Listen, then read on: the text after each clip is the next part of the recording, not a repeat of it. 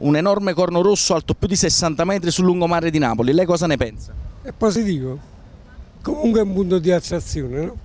Il corno serve, eh, purtroppo Italia e Napoli è piena di corne, i cornuti ci sono in quantitativi, serve solo per questi, non serve a niente quella, quell'oggetto che vogliono mettere, stanno cose più importanti.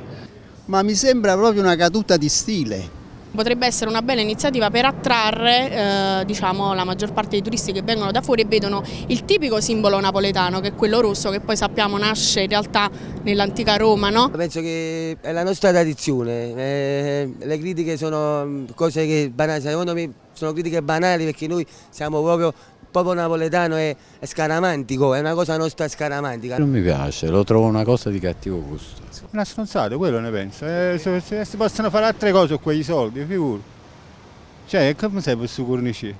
Se questo può attirare ancora di più l'attenzione del, del, diciamo, delle, delle, della popolazione, senza diciamo, sfociare in uh, commenti diciamo, poco poco uh, carini, può essere anche una cosa positiva. Ci sono tante cose che si fanno senza gusto, una cosa che non ha senso. Eh, cerchiamo di abbellire la città, no? di, come l'avevano messa anche a Caserta mi pare, eh, davanti alla Reggio di Caserta, una cosa orrenda, brutta.